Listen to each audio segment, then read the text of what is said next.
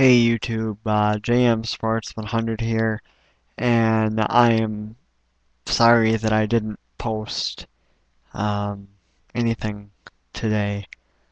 Uh, I live in a very small town, and it's the kind of town where everybody knows everybody.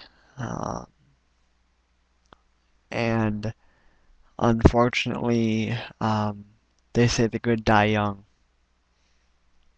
And that happened to be the case today. Um, there's a guy by the name of Jake Hetke, uh, pretty popular um, around my town. He was a, a pretty good guy. I mean, I, I did have issue with him at one point in time.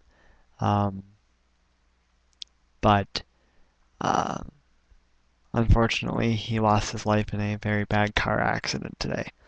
Uh, so my mind is in other places, but I will be back with um, baseball picks and things for um, September 13th. I was just kind of out of it today and and um, kind of down. So, um, you know, uh, my apologies and.